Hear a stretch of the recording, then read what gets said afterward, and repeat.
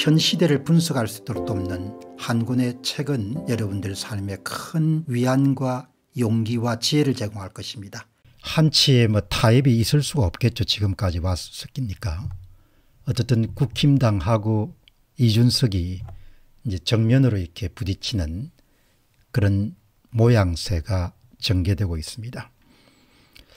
이제 오늘 여러분들에게 전해드릴 첫 번째 이제 소식은 어떻든 이번에 납득할 수 없고 또 이해할 수 없는 그런 법원의 판결에 대해서 국힘당이 조속한 시간 내에 사태를 수습하기 위해 가지고 나름대로의 정리된 입장을 의원총회 5시간 정도의 경론을 거쳐가지고 아마 확정해서 대외적으로 발표한 그 내용부터 한번 다뤄보도록 그렇게 하겠습니다.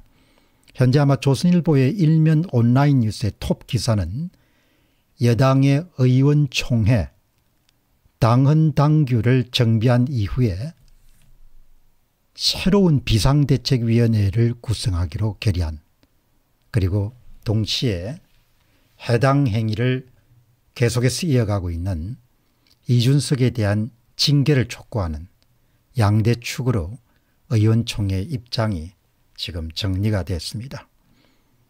그런데 이제 이준석 측에서는 바로 하단에 여러분 보시다시피 만일에 국힘당이 비상대책위원회 체제를 계속해서 유지할 때는 또다시 가처분 신청을 내겠다. 그렇게 이야기하는 겁니다.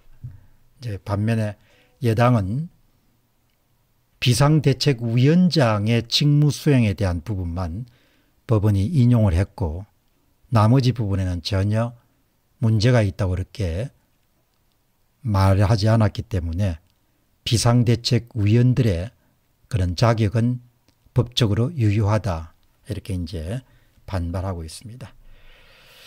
어떻든 참 자신이 몸담았던 그런 당에 이제 마지막에 비수를 겨누는 그런 것을 보면서 국힘당도 참 반성을 해야 되는 거죠. 4.15 총선이 끝나고 나서 그렇게 이제 문제가 많았는데 한참 자당이 이렇게 소위 공천을 한 후보 가운데 100여 명 이상이 선거 무효 소송을 제기하는 그런 상태에서 또다시 당내 경선을 선관위에 맡겨가지고 이렇게 당내 경선을 치르니까 당연히 이준석이 되겠죠. 이번에도 한번 맡겨보시기 바랍니다.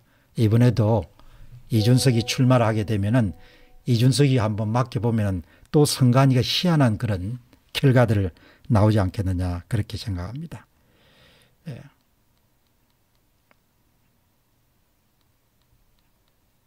예, 어떻든 간에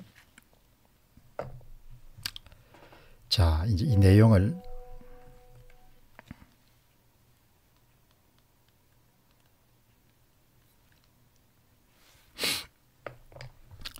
자 가장 핵심은 법원 판결에도 불구하고 새로운 비상대책위원회를 구성해서 출범시키겠다.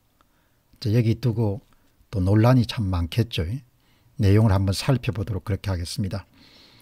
당헌 당규를 정비한 이후에 새로운 비상대책위원회 구성을 결의했다. 예.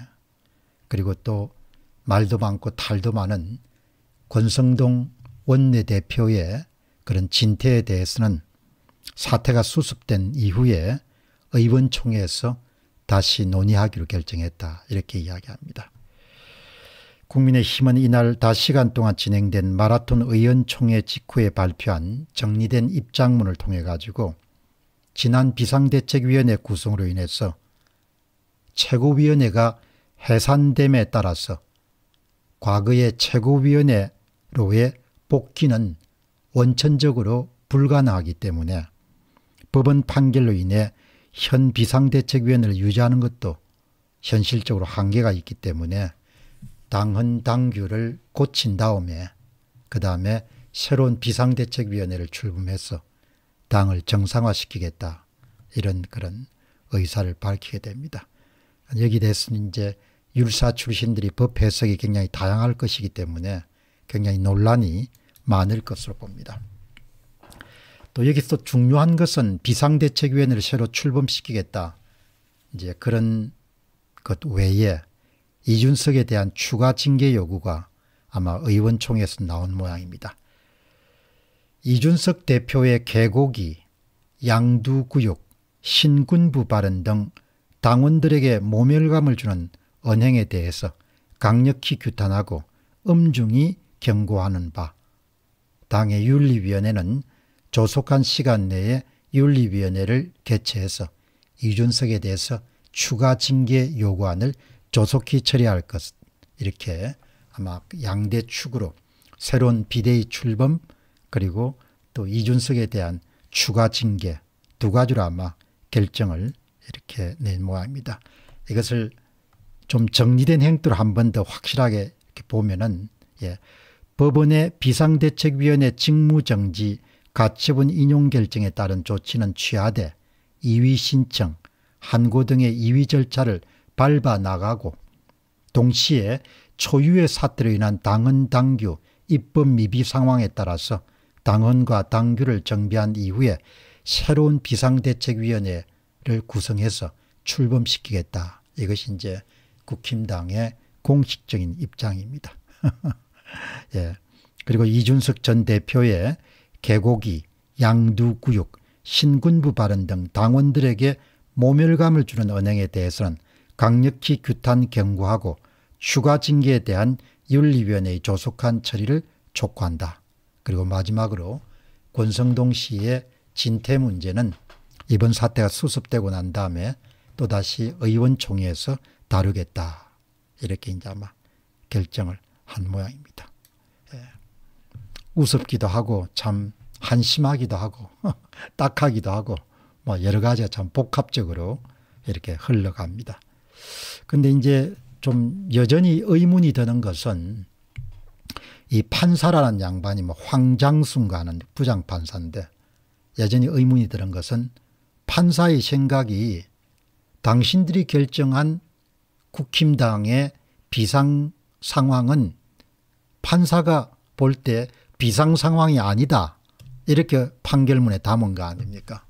예. 비상 상황이 아니기 때문에 비상대책위원회를 출범할 필요가 없다라고 그렇게 판사는 생각했던 것 같아요.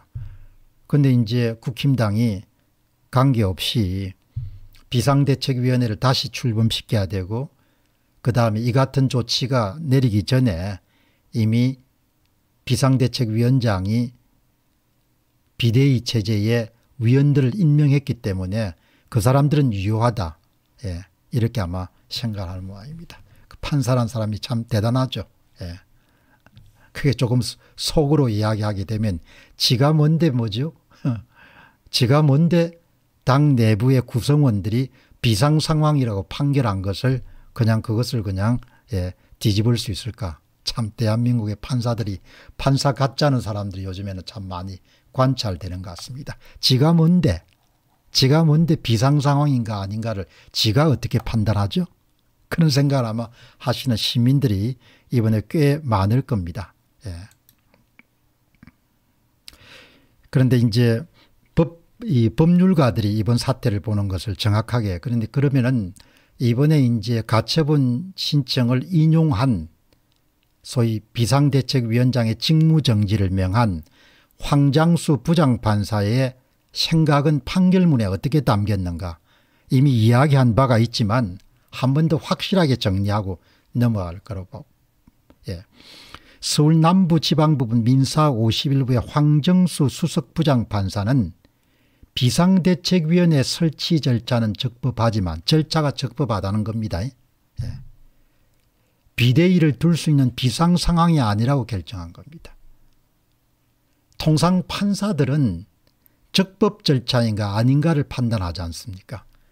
근데 본인이 비상대책 비상 상황이 아니라고 본 겁니다. 비대위 체제를 출범시키는 것은 절차적으로 정당한데 내가 보기에는 너가 말이지 어? 비상 상황이 아닌데 비상 상황을 만들었다 이렇게 보는 겁니다. 희한한 거죠. 예. 그러니까 참 예. 아니 국힘당에 뭐죠? 많은 구성원들이 합법적 절차를 밟아가지고 비상상황이라고 진단을 했는데 서울 남부지방법원의 이런 판사 한 명이 그게 아니다 이렇게 이야기한 겁니다. 꼭 지금 이거를 보면 2018년도에 김능한 대법관이라는 사람이 1965년도부터 한일 기본조약에 계속해서 효력을 발휘했는데 그냥 그걸 뒤집는 판결을 2018년에 그냥 내려가지고 한일 관계가 완전히 벼랑 끝으로 갔지 않습니까? 꼭 같은 거죠. 예. 본인의 권한 넘어서 법 해석을 한 그런 행태에 해당하는 것이죠. 그러므로 본인이 볼 때 당대표가 거리되거나 최고의 기능이 상실되는 등의 상황은 아니기 때문에 주호영 의원을 비상대책위원장으로 선정한 전국위원회 결의는 당헌 및 정당법 위반으로 무효라고 봤다. 아주 두 가지를 명확히 정리하네요. 비상 상황이 아니란 것을 명확히 한 겁니다. 판사가. 예. 일부 최고위원들이 국민의힘 지도체제 전환을 위해 비상 상황을 만들었다고 보는 것이 타당하다. 그런 의견이 아마 판결문에 들어가 있는 모양입니다. 전혀 비상 상황이 아닌데 국힘당의 최고위원 몇 사람이 작당을 해서 비상 상황을 만들었다. 이것이 황장 정수 부장 판사의 견해입니다. 예. 당헌 제96조 1항의 당대표가 거리되거나 최고위원회 기능이 상실되는 등의 문구가 있다 하더라도 여기서 등이라면 비상상황에 준하는 사유로 볼 수 있어야 된다고 판시했다.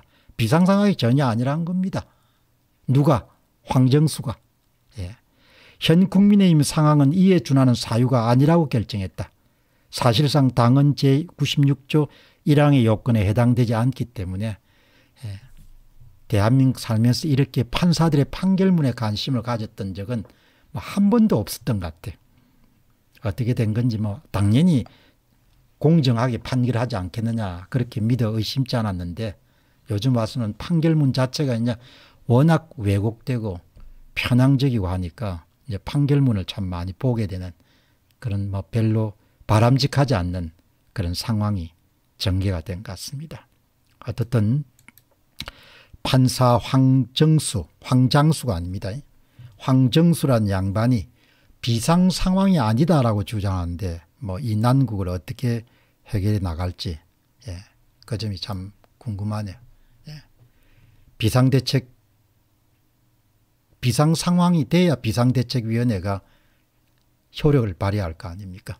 전혀 비상 상황이 아니라는 겁니다. 그러니까 예. 이제 이 같은 판사의 판결에 대해서 국힘당과 직접 연결돼 있는 변호사들은 완전히 또 다른 해석을 안 해요. 예, 다른 해석을 하는 것이 여당의 법률 대리인들은 주호영 비상대책위원장의 직무정지 전에 임명된 비상대책위원회 위원들은 적법한 절차에 따라서 선출됐기 때문에 유효하다 아마 이렇게 보는 겁니다. 예. 국힘당의 법률 대리인 황정근 변호사는 주호영 비상대책위원장이 법원의 직무정지 결정을 받기 이전에 임명한 비대위원 8명의 법적 지위는 그대로 유지된다. 그렇게 아마 판, 판결문을 해석한 모양입니다. 당이 비상대책위원회 체제를 계속 유지할 경우 비상대책위원회 구성원 전체를 대상으로 추가 효력정지 가처분 신청을 검토하고 있다. 누가? 이준석 측이. 예. 그러니까 이준석 측은 뭐 절대 비상대책위원회 체제가 출범해서 안 되고 과거에 예, 최고위원회 체제가 계속해서 유지가 돼야 된다. 아마 그런 견해를 갖고 있는 모양입니다. 한 채 양보도 없이 그냥 마지막까지 갈 모양입니다. 황 변호사는 이날 국민의힘이 언론에 배포한 가처분 결정 검토 및 현황 분석 자료에서 채권자 이준석이 미리 비상대책위원회 임명금지 가처분을 신청한 바가 없기 때문에 주호영 비상대책위원장이 임명된 이후 지난 8월 26일 직무정지 집행정지 결정이 되기 전인 지난 8월 16일 상임전국위원회의 의결을 거쳐서 비상대책위원 8인을 임명한 행위 및 기타 인사권 등의 행사는 적법하다. 가장 쟁점은 그거겠네요. 법원은 비상 상황이라고 볼 수 없다. 예. 그런데 이제 국힘당은 자 법원의 판결을 따라 가지고 주호영 비상대책위원장의 직무는 정지되지만 주호영 비상대책위원장이 법원의 판결이 내리기 전에 이미 정국위와 상임위원회의 그런 인정을 받아서 임명한 비상대책위원회 8인의 임명은 유효하기 때문에 이제 그것을 중심으로 해가지고 그렇게 끌어가겠다. 아마 그런 이야기 모양입니다. 권성동 원내대표가 비대위원장 직무 대행이 돼서 기존에 임명된 비대위원들과 함께 비대위를 운영할 수 있다. 이것이 이제 국힘당의 그런 뭐 법률적인 판결인 모양입니다. 자, 참 대단하네요. 판사가 예, 월권을 했다 이렇게 저는 보거든요. 비상대책위원회를 소집하고 이런 절차가 문제가 있으면은 그러면 당연히 법원이 그렇게 판결해야 되는데 예. 판사들이 참 그렇습니다. 예.